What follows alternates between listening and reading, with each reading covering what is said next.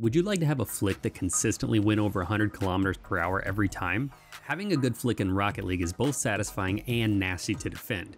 There are a lot of variations on just this one facet of play. Front flip flicks, back flip flicks, 45 degree, 90 degree, 180 degree, musty, breezy, the list goes on, but for the purpose of this video, we're going to be looking at a very specific type of flick, one popularized by a young French player named Mawkzy.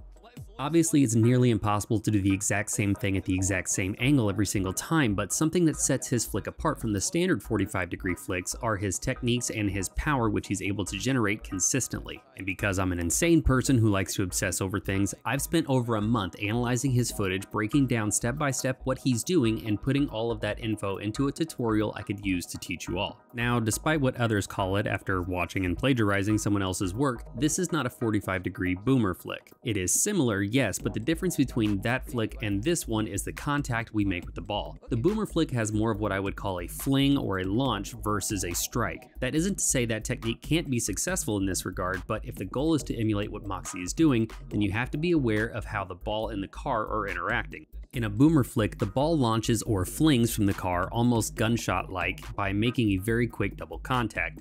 This was popularized by JZR a few years ago, and while the mechanic is very similar to Perform, there's a nuance that separates them from being the same, so let's get into it.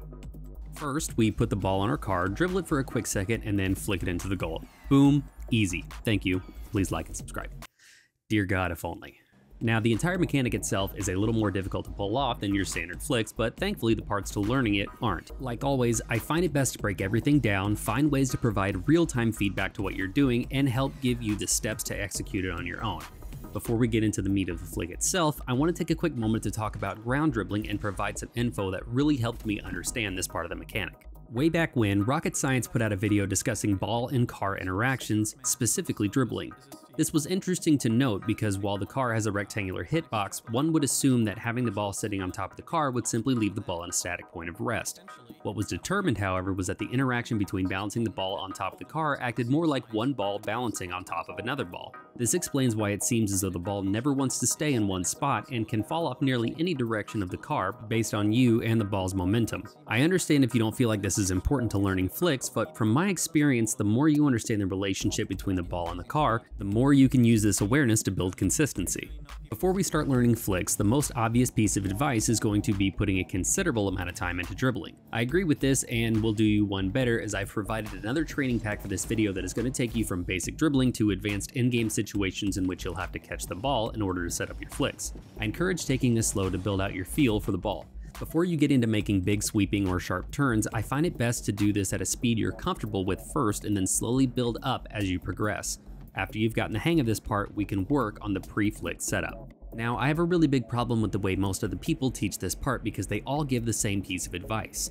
You'll want to have the ball resting on the sweet spot of the car. In my opinion, this isn't a good way to teach players what or where it really is because unless you have wildly different camera settings than everyone else, you're probably like 99.9% of players that are exclusively looking at the ass end of their car during this part. Telling me the place I want the ball to be is between the windshield and the hood isn't all that helpful if I can't properly see whether or not I'm doing it correctly. Instead, I implore all of you to use the single best feedback system the game offers you, the ball indicator. For the remainder of the video, this will be the primary point of focus when it comes to the car and the ball interaction. So what does the sweet spot look like in relation to the car and the ball indicator? About like this. The majority of the car is inside the indicator circle with the back wheels being either slightly on or outside the back end of the circle. As we spin the camera around, we can see that the ball is exactly where we want it to be between the windshield and the hood. But why do we want the ball to be here? This isn't where we want the ball to be for every flick of course, but for the purpose of this particular flick and many like it, let me explain why. In order to perform this and most flicks, you'll want to be traveling the same speed as the ball. Had you put some time into dribbling before this point, you're aware of how difficult this can be to do. Why it's called the sweet spot and what it does for the ball is provide the optimal location for the ball to be placed while you gather speed and it will stick close to your car after you jump. The window for this can vary depending on your speed and control, but once the ball is properly settled on this position of the car, further indicated by the absence of contact sparks the car receives from the ball, we now have, for however brief a moment, complete control of the ball.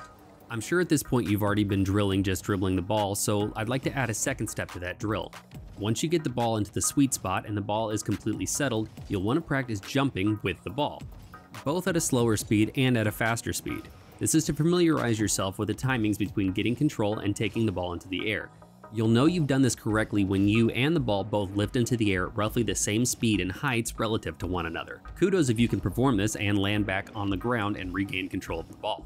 If you feel like you have this part down, then it's now time for the money shot, learning the flick. This has a couple of very key and very specific parts, so please keep each of these in mind as you progress through these steps. The first and absolutely essential thing you're going to need is to have a bound directional air roll. This can be done on either side, so I strongly encourage you to pick the side that feels more comfortable to you. I use air roll left bound to my L1, which you can see from my controller overlay. If at any time I reference a directional movement, please keep that in mind and simply invert the direction if you're an air roll right player. Once you have that, we can now move on to step number one. First, we need to have the ball slightly lower on the sweet spot moving at a decent bit of pace. Because the window can be small, the ability to set up and execute the shot is both its strength and its most difficult to pull off. I find a good indicator for my window of execution is just before the ball would begin to roll off the front of my car. This ensures that when I jump while holding the ball, my car is going to naturally cradle it as we lift into the air and is just another way to use in-game feedback to inform my timing windows. To help generate more power, you can even boost while you jump and into the flick. Before we jump however, we're going to need to begin our wrap around the ball while simultaneously creating a small bit of distance from the ball. How Mawkzy is able to generate so much power from his flicks is because of this wrapping technique mixed with his use of air roll. To understand why this is important, we first need to understand what generates the most amount of power in regards to flicks. When performing just a standard 45 or 90 degree flick, to achieve the highest amount of power, your car will need to be traveling upwards with the ball but also have a small bit of space between it and the ball. The reason for this is in order for the car to transfer max power to the ball, you need to strike the ball while the car is in the middle of its flipping rotation. This means you'll need to position your car in a way that allows for the ball to be struck by the car, and we do this by either letting the ball get a little ahead of our path or pulling the car away from the ball just before flipping. Because this setup can take a moment to execute, Mawkzy instead bypasses this by air rolling his car into the flicking position with air roll and it allows him to have a quick release window from the moment of initiation to execution as well as a low launch angle. So how do we learn this? We do this by turning a slight bit to the opposite side where we want to turn. Since the ball is going to be on the left side of the car, we first need to create a slight offset from the center by maneuvering the ball barely to the right just before I turn and jump. If you've done this quickly enough, it shouldn't disrupt your ability to keep the ball cradled on takeoff. As we move into our attack position, we want to begin to turn our car to the right and jump, creating an angle with the ball around 30 degrees from center. The moment after we jump, we want to hold down air roll and swing the left stick from about the 4 o'clock position to around the 6 o'clock position. This will create the pseudo tornado spin motion we need to set up the flick. I like to visualize the next bit as I found it helped me to pull this off more consistently. The reason we want to turn just before we jump and get our car into position is because we want to try and hit the ball with a very specific part of the car, the opposite front fender. The reason for this is twofold. The first being that anytime the ball is hit with a part of the hitbox which meets at a hard angle, it generates a high amount of resistance and thus a large amount of power. Second, if we observe where the center of mass on the car is, this point of the car is the absolute furthest point from said center of mass, meaning it can generate the highest amount of speed and power in a small amount of time. Now that we have our car turned up and away from the ball, provided you maintain your speed and positioning with the ball, creating that small bit of separation, it's now time for the flick. With our stick wrapped around to the bottom left or 6 o'clock position, we want to perform a flip. This backflip is where all of the power comes from. To do this most effectively, we want to hold our stick down and to the left, continuing to hold our air roll as we flip, and then quickly cancel our flip by shifting or swinging our left stick up and to the right. This helps us execute the flip as well as giving our car a reposition for recovery. Provided you've done all these things correctly, the front opposite fender will strike the ball and hurl that mofo towards the net. This would be the end where I tell you to go practice this, but there are some nuances to this technique that I wanted to go over before I turn you loose. First of all, what helps to generate the most powerful and consistent flick is one particular thing that I didn't realize for quite some time but has since changed the way I practice this mechanic. The moment you want to be flipping your car towards the ball is at a point in which your car is beginning to point upwards from the tornado spin. It's at this point you're able to flip into the ball and strike it with that front fender, generating incredible amounts of power. This doesn't just apply to this flick either. Things like 90 and 180 degree flicks also apply to this. I suggest playing around with this piece of information and seeing what kinds of moves you can pull off. The most vital part to pulling off this flick consistently is spacing. I'm aware up to this point we've made a huge push into moving the same speed as the ball both on the ground and in the air. The hardest part about our flip into the ball is being close enough to the ball that it sticks with us but far enough that our car has the room to rotate around in the flip in order to make contact with the front fender. I regret that I haven't been able to provide a secret for this other than timing behind the ball. And lastly, if you're looking to learn how to place these shots either left or right of the goal, then you'll want to know where your car should be in order to do this. If you want the ball to be more left, you want to skip the first part where we try and line the car up on the left side of the ball and instead put the ball more on the left center position of the hood. Then when you backflip, provided you're in the correct position, the ball will go towards the left. For the right side, you'll want to position more on the left of the ball on your takeoff and delay the flip for just a moment. Again, if your positioning is correct when you flip, the ball will go towards the right side of the goal. This bit is quite advanced given just how hard it is to pull this flick off on its own, but once you've begun to get more comfortable with the mechanic,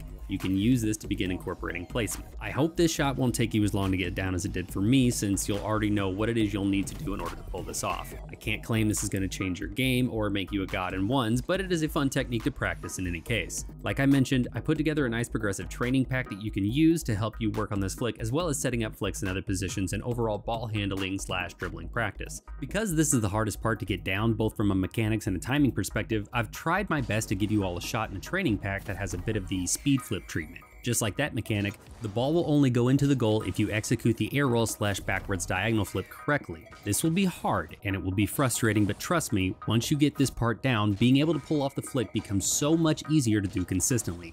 Hell, anytime I feel like I'm struggling to flick correctly, I'll just go back to this shot and regrind the movement for a little bit to give my muscle memory a little refresher. If you have any other specific flicks, mechanics, or training you'd like to have covered, please let me know in the comments down below, and until next time, get out there and work on those flicks.